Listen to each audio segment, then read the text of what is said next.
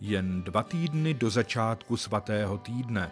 Právě tolik jich bude zbývat od neděle 10.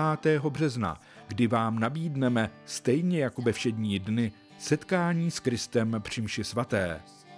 Prožijte ji společně s farníky v Brně Žabovřeskách, abyste obnovili svá srdce a načerpali sílu do dalších dní. Živě z kostela Pany Marie Pomocnice křesťanů už od půl desáté dopolední.